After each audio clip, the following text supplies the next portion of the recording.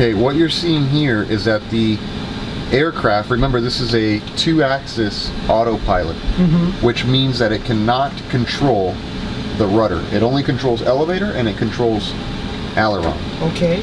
Right now, the aircraft is trying to maintain a heading of 013. Why? Because that's what we have set up, uh, or 010 rather, because Okay. that's what we have up in the MCP.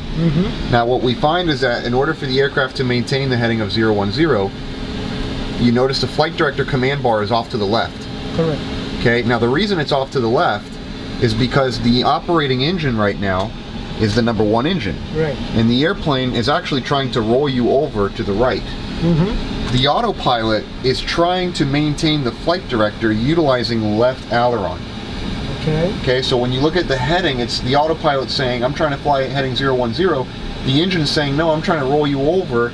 And the aircraft's only way of preventing a rollover is by adding aileron in the direction of the flight director.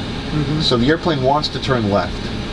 So right now, your this aileron would require left rudder pressure on the left pedal, Mm-hmm. and it's a slight delay. So when you apply that left pressure, you can see the yoke is now centering. Okay, so you want to apply a little bit more pressure Sure. until it completely centers. But I'm telling you, it's not much. It's not much. Oh my God. It's Is it because much. you are descending or? Well, it's a